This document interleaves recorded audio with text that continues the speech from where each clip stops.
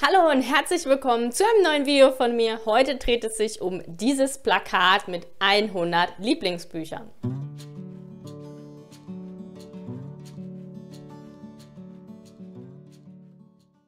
Ich habe dieses Plakat vor einer ganzen Weile schon bei Thalia gewonnen. Ich weiß nicht, ob es dieses Pla Plakat auch zum Kaufen gibt. Ähm, ich glaube, das gab es in den richtigen, also in den Läden überhaupt nicht zum regulären Preis zu kaufen, sondern es gab es nur bei diesem Gewinnspiel.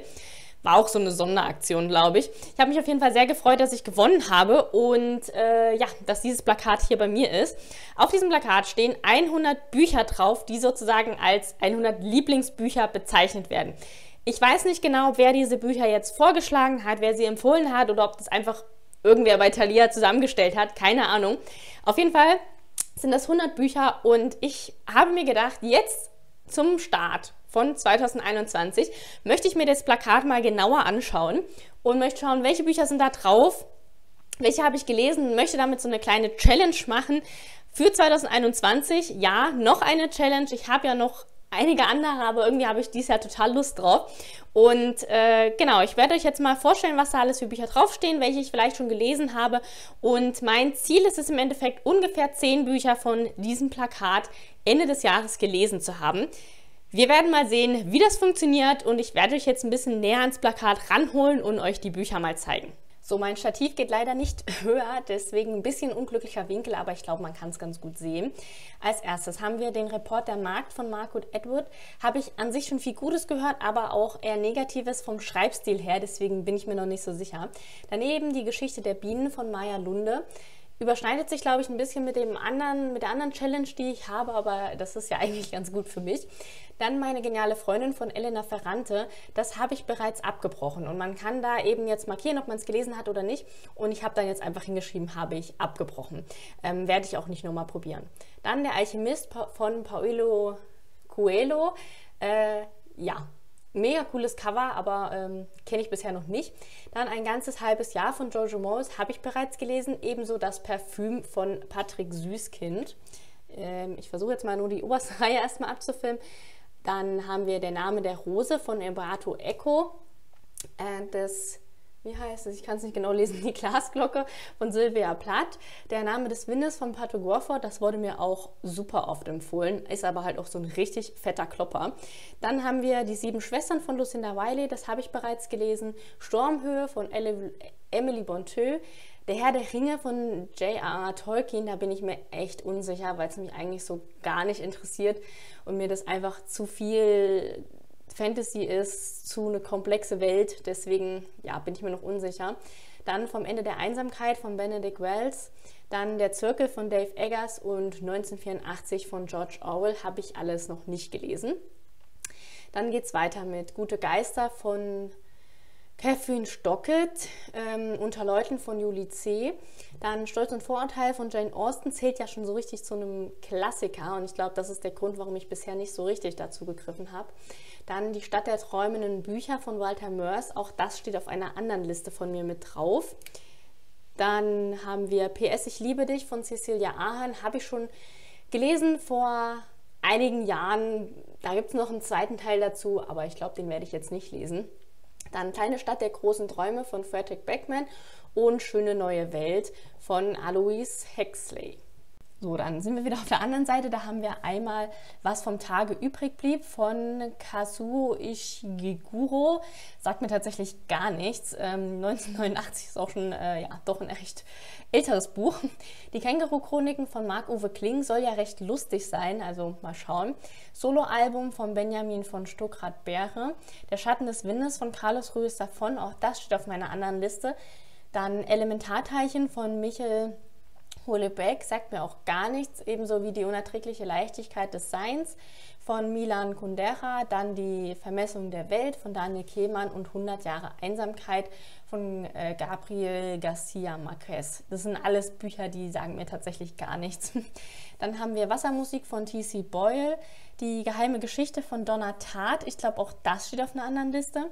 Der Medikus von Noah Gordon. Das ist ein Buch, wo ja Maike von den Bookfans Forever recht viel schwärmt darüber. Ähm, ich hatte das Buch schon mal da, aber irgendwie hat es mich nicht angesprochen. Ich habe es wieder aussortiert.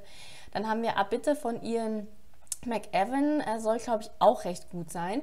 Der große Gatsby von F. Scott Fitzgerald, Die Verwandlung von Franz Kafka und ein Buch, was mir unheimlich oft empfohlen worden ist, Ein wenig Leben von Hanya Yanagihara. Ähm, ja, ich glaube, ich muss es wirklich mal lesen. So, dann ein Stück weiter unten mal wieder ein paar Bücher, die ich gelesen habe. Erbarmen von Josie Hadler-Olsen. Das müsste auch der erste Teil dieser Reihe sein. Die Therapie von Sebastian Fitzek habe ich auch gelesen. Mord im Orient Express von Agatha Christie ist ja auch schon, eine, ja, doch äh, ein bisschen älter, dieses Buch. Ähm, Gibt es ja auch einen Film zu. Ich habe weder das Buch gelesen noch den Film gesehen. Der, Schra der Schwarm von Frank Schätzing ist ja auch so ein richtig, richtig fettes Buch. Also mal schauen. Dann äh, weiter rechts ein gutes Omen von Terry Pratchett und Neil Gaiman. Dann die Blechtrommel von Günter Grass und Die Herren von Winterfell von George R. R. Martin. Auch das ist etwas, was mich bisher nicht so angesprochen hat, weder als Buch noch als Serie. Also ich habe Game of Thrones nicht gesehen und die Bücher sind ja auch recht dick. Ähm, ja, ist dann doch schon ganz ein schönes Projekt, was man sich da vornimmt. Dann eine Reihe weiter unten haben wir Illuminati von Dan Brown. Habe ich als abgebrochen markiert, wobei ich mir nicht sicher bin, ob ich genau dieses Buch abgebrochen habe. Ich habe aber für mich selber die Reihe einfach abgebrochen, weil ich mit dem Schreibstil von Dan Brown einfach nicht klargekommen bin. Dann Verblendung von Stieg Larsen habe ich gelesen. Die Schwalbe, die Katze, die Rose und der Tod von Hakan Nessa hat irgendwie einen mega witzigen Titel. Dann äh, Schneemann von Joe Nesbø äh, ich habe von John Espo noch nie was gelesen, aber ich glaube, der Schneemann klingt schon ziemlich gruselig. Dann haben wir Lauf Jane Love von Joe Fielding. Ich habe schon irgendwann mal ein Buch von ihr gelesen, aber äh, ja, das war's nicht. Der Anschlag von Stephen King. Äh, ja, äh, an sich klingt es mega gut, aber auch das ein richtig, richtig fetter Schinken. Midsommermord von Henning Mankell. Äh, ja, Henning Mankell kenne ich vom Namen her, aber mehr auch nicht. Und Schneewittchen muss sterben von Nele Neuhaus. Wundert mich ein bisschen, dass das drauf ist, weil das, glaube ich, der vierte Teil dieser Reihe ist und äh, komisch, dass nicht der erste draufsteht, aber das werde ich auf jeden Fall ähm, irgendwann lesen, weil ich ja die Reihe noch komplett lesen möchte. Dann haben wir Postmortem von Patrizia Cornwall, äh, die Jury von John Grisham, Venezianisches Finale von Donna Leon. Ja, alles drei, äh, die Namen sagen mir was mehr, aber nicht. Dann haben wir Gone Girl von Gillian Flynn, habe ich gelesen, fand ich jetzt aber nicht so toll. Und dann haben wir hier noch äh, Microwave und die Tänzerin, sagt mir auch gar nichts, ist aber auch schon etwas älter, steht ja 1951 drunter. Wer die Wahrheit sucht von Elizabeth George, American Psycho von Brad Easton Ellis, auch beides Bücher, die mir jetzt nicht so viel sagen. Und als letztes hier unten noch Blackout von Mark Ellsberg. Das sagt mir tatsächlich was, weil das habe ich schon gelesen. Dann haben wir hier noch ein paar Bücher, die jetzt meiner Meinung nach so ein bisschen in die Sachbuchrichtung gehen, und zwar Becoming von Michelle Obama. Das ist ja ihre Biografie in gewisser Weise. Dann Tiere essen von Jonathan Safran Föhr. Ähm, ja, sagt mir gar nichts, genauso wie das andere Geschlecht und das Café am Rande der Welt. Aber ähm, allein vom Titel her, finde ich, klingt es schon irgendwie interessant. Dann haben wir Walden von Henry David Thoreau ja, äh, ich bin schlecht in sowas im Aussprechen. Ist schon von 1854, also äh, ich bin mir unsicher, ob sowas überhaupt dann was für mich ist. Die Nacht zu begraben, Elisha von Elie Wiesel, Homo Deus von Yuvala Noah Hari und In die Wildnis von John Krakauer. Ähm, ja, sagt mir jetzt alles nicht so viel. Und da unten drunter haben wir noch der große Trip von äh, Shirley Stravert und Farbenblind von Trevor Noah. Trevor Noah soll ja wirklich sehr gute Bücher schreiben. Also ja, vielleicht wage ich mich mal dran. So, und hier unten haben wir dann nochmal so Kinderbücher, Jugendbücher und als erstes Emil und die Detektive von Erich Kästner. Äh, ich dachte, dass ich es schon mal gelesen habe, aber wenn dann vor der vierten Klasse, weil erst ab da habe ich es mir aufgeschrieben.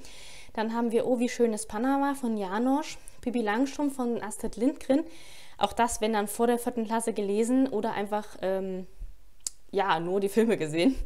Der Gryffindor von Axel Scheffel, Heidi von Johanna Spirit, die Geburtstagstorte für die Katze, äh, Wir Kinder aus dem Möwenweg.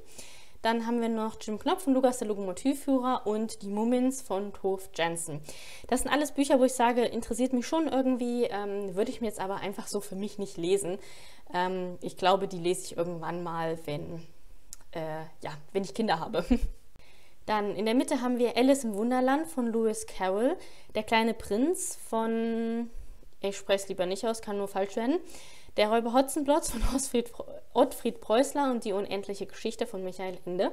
Das steht auch auf mehreren Listen drauf und äh, ja, ich habe es noch nicht gelesen. Nein, Das Wunder von Narnia von C.S. Lewis habe ich gelesen, genauso wie Harry Potter und der Stein der Weisen. Dann kommt Krabbert, auch von Ottfried Preußler, habe ich nicht gelesen. Dann haben wir noch Rubinrot von Kerstin Gier, habe ich gelesen, das Tagebuch der Anne Frank ebenfalls. Und dann haben wir noch Sophies Welt. Und als letztes hier unten haben wir Percy Jackson. Das müsste der erste Teil sein, habe ich noch nicht gelesen, steht auch noch auf einer anderen Liste. Dann Das Also ist mein Leben von Steven Sporsky. Da bin ich mir jetzt nicht sicher, ob es auf der anderen Liste steht. Das Schicksalsmieser Verräter von Jean, John Green habe ich gelesen. Die Tribute von Panem habe ich auch gelesen. The Hate You Give nicht. Dann habe ich Chick. Die Welle von Morten Roh habe ich gelesen. Die Bücherdieben habe ich auch gelesen. Und dann haben wir noch Der Fänger im Roggen, Wer die Nachtigall stört und als letztes Tintenherz von Cornelia Funke, was ich auch nie gelesen habe, wo ich aber nicht mir sicher bin, ob ich nicht vielleicht zu alt bin und das dann nicht auch irgendwie auf irgendwann mal verschiebe, wenn meine Kinder äh, Jugendliche sind. Aber ja, da ich noch keine Kinder habe, kann das noch eine ganze Weile dauern. Ich hoffe, euch hat die kleine Vorstellung dieses Plakates gefallen. Ähm, ja, ich kann jetzt auf den Inhalt der einzelnen Bücher nicht eingehen, weil ich eben selber von den meisten Büchern noch nichts gehört habe, sie auch selber einfach noch nicht gelesen habe. Ich werde euch aber alle Bücher unten in der Infobox verlinken. Das heißt, schaut da gerne mal vorbei. Ich finde da Links ähm, zu Lovely Books, das ist die Inhalt die Inhalte der Bücher äh, sozusagen könnt ihr euch dann anschauen und auch alle anderen Details, die es in den Büchern gibt. Und jetzt würde ich mich natürlich sehr freuen, wenn ihr mir mal unten in die Kommentare schreibt, welches dieser Bücher wäre auch ein Lieblingsbuch von euch, welches sollte ich unbedingt lesen. Und äh, ja, wie gesagt, ich habe mir vorgenommen, mindestens zehn Bücher von diesem Plakat zu lesen und abzuhaken. Mal schauen, ob das 2021 gut funktioniert. Und wie gesagt, leider weiß ich nicht, ob es dieses Plakat zu kaufen gibt. Ähm, ich habe es auf eBay Kleinanzeigen gesehen, aber mehr auch nicht.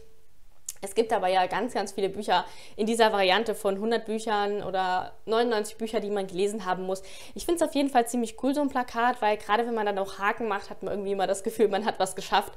Aber äh, ja, ich äh, höre jetzt auf zu quatschen. Ich wünsche euch ganz viel Spaß beim Lesen und freue mich, wenn ihr bei meinem nächsten Video wieder mit dabei seid. Ciao! Mm-hmm.